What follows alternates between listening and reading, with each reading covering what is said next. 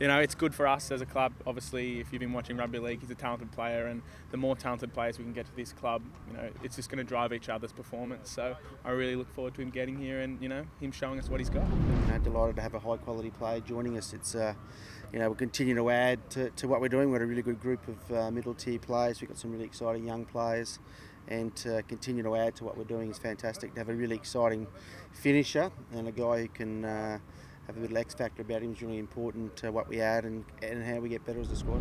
It really helps our strike rate. As you can see, our attacking play has gotten better this year, and if we can be on the end of a lot of that attacking play, it obviously helps if we can dot the ball down. So having more quality players on the edge means hopefully um, that we'll score more tries and, and, you know be more successful in converting our attack to points.